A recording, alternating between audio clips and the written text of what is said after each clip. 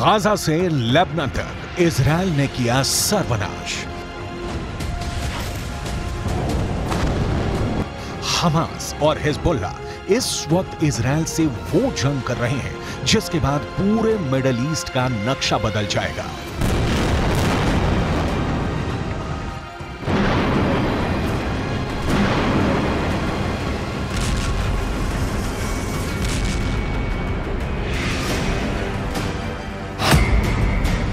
Israel का नक्शा मिटा देंगे, हमास और हिजबुल्ला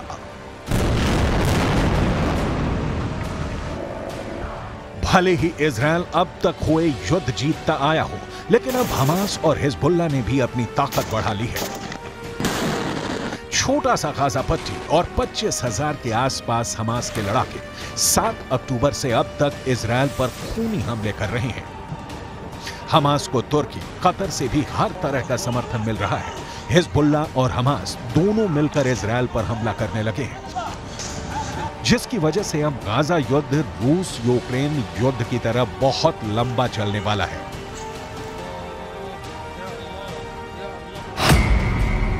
हमास, हिजबुल्ला में हाहाकार। एक घंटे में मारे सौ कमांडर।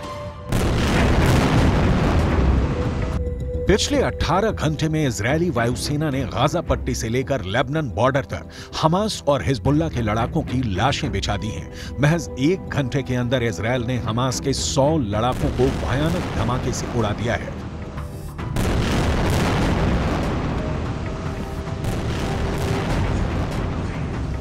वहीं दूसरी तरफ़ हिजबुल्ला के तेरह से ज़्यादा लड़ाकों को इसराइल ने इस तरह से टारगेट करके मारा है कि मरने वाले हिजबुल्ला लड़ाकों को अपने मरने का एहसास तक नहीं हो पाया।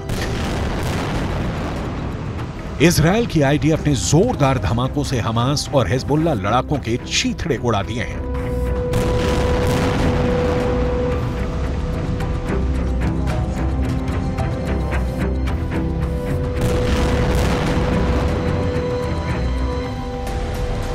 गाजा पट्टी, वेस्ट बैंक और लेबनन बॉर्डर पर इसराइल के अचूक हमलों को देखकर अरब के 22 मुल्कों में कोहराम मच चुका है।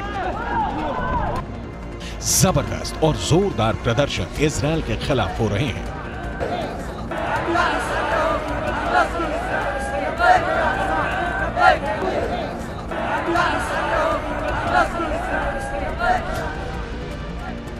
हम आपको आज दिखाने जा रहे हैं कि कैसे ईरान इस्लाम के नाम पर मुस्लिम मुल्कों को इसराइल के खिलाफ युद्ध करने के लिए भड़का रहा है।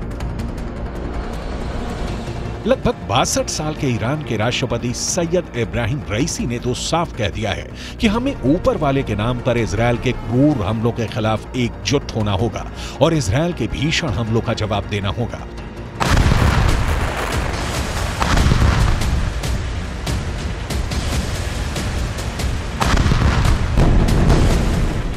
ईरान के राष्ट्रपति सैयद इब्राहिम रईसी इस बात से खौफ में आ चुके हैं कि हमास को इसराइल दौड़ा दौड़ा कर मार रहा है। हिजबुल्ला के कमांडरों की टारगेट किलिंग इसराइल कर रहा है। और मुस्लिम मुल्क सिर्फ़ बयानबाजी कर रहे हैं। ज़मीन पर एक भी मुस्लिम मुल्क इसराइल के खिलाफ बड़ी जंग करने को अभी तक तैयार नहीं हुआ है। हमास की पॉलिटिकल विंग का चीफ इस्माइल हानिया कतर में बैठकर सिर्फ़ बयानबाजी कर रहा है, लेकिन खुद गाजा के आसपास भी फटक नहीं रहा है। इधर इसराइल के प्रधानमंत्री से लेकर रक्षा मंत्री तक इसराइली सैनिकों के बीच दावा कर रहे हैं कि हम हमास और उसके समर्थन करने वाले हर लड़ाके को चुन चुन कर मार रहे हैं और मारते रहेंगे। इसराइली सेना ने नेशनल सिक्योरिटी फोर्स के commander, major general Jihad Mohsen और उसके पूरे परिवार का सफाया इसराइल के हवाई हमले में कर दिया।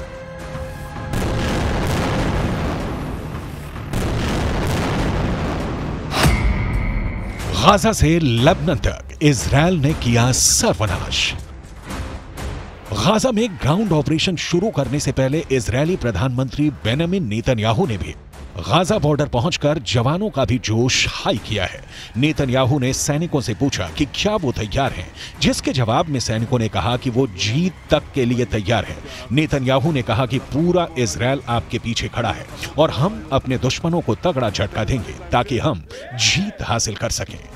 אני פה עם הלוחמים של גולני, הם באים מכל חלקי הארץ, הם לחמו כמו אריות, אם יילחמו כמו אריות, אתם מוכנים להמשך? כן! אנחנו הולכים לנצח בכל העוצמה. אתם מוכנים? כן! כל עם ישראל עומד מאחוריכם, ואנחנו ניתן את המכה הקשה לאויבים שלנו כדי שנשיג ניצחון לניצחון. מוכנים? लेबनन बॉर्डर पर दो किलोमीटर खून का दरिया। ईरान, लेबनन, सीरिया, जॉर्डन और तुर्की के दम पर हमास भले ही इतरा रहा हो, लेकिन इसराइल ने दिखा दिया है कि चाहे हमास हो या फिर हिजबुल्ला इसराइल चुन चुन कर एक एक दुश्मन को तबाह कर देगा। जरा इसराइल की आईडीएफ के हवाई हमलों के इस वीडियो को देखिए। गाजा पट्टी और वेस्ट बैंक में हवाई हमलों में फिलिस्तीन और हमास के लोगों की इमारतें तरबूज की तरफ़ फट रही हैं। इसराइल के तूफानी हवाई हमलों में बमों के धमाके ऐसे इमारतों को उड़ा रहे हैं जैसे तूफ़ान में पेड़ उखड़ जाते हैं।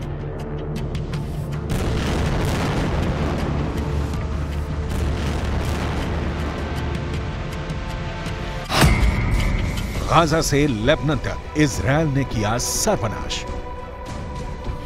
हमास और हिजबुल्ला की तबाही की ये ब्लैक एंड व्हाइट तस्वीरों ने अरब देशों में भयंकर गुस्सा भर दिया है। इस वक्त 22 अरब मुल्क इसराइल के खून के प्यासे हो चुके हैं। इसराइल हमास और हिजबुल्ला के बीच मची खूनी जंग हर दिन और खूनी होती जा रही है। अब तक जंग में दोनों तरफ़ से 5000 से ज़्यादा लोगों की जान जा चुकी है। इसराइल में हमास के हमले में मरने वालों की संख्या 1400 से ज़्यादा है। उधर गाजा पट्टी में हुई बमबारी में सैंतीस सौ से ज़्यादा लोगों की मौत हो चुकी है। आईडीएफ ने गाजा पट्टी में सौ से ज़्यादा हमास के ठिकानों को तबाह कर दिया है।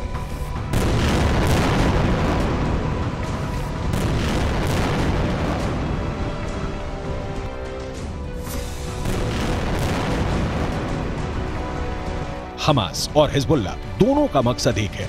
दोनों इसराइल को दुनिया के नक्शे से मिटाना चाहते हैं। हिजबुल्ला ने उत्तरी इसराइल में नरसंहार करने के लिए 5000 स्पेशल लड़ाकों को तैयार किया है, जो पलक झपकते ही इजरायली लोगों को मार सकते हैं। लेकिन लेबनन बॉर्डर पर इसराइली सेना ने दो किलोमीटर के इलाके में मौजूद गाँव से इसराइली लोगों को हटा दिया है।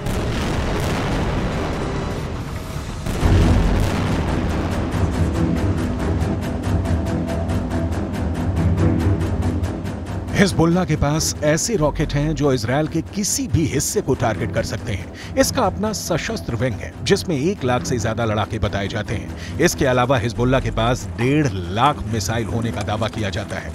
हिजबुल्ला लेबनन की सेना से भी ज़्यादा ताकतवर है। इसके पास बैलिस्टिक मिसाइलें भी हैं। हिजबुल्ला हमास से ज़्यादा संगठित और ताकतवर है। हिजबुल्ला के पास इसराइल से लड़ने का खूब तजुर्बा भी है। उसके पास सबसे घातक आत्मघाती दस्ते हैं। गोरिल्ला युद्ध में इसके लड़ाके माहिर बताए जाते हैं। ऐसे में अब देखना होगा इसराइल एक साथ हमास और हिजबुल्ला का सफाया कैसे करता है।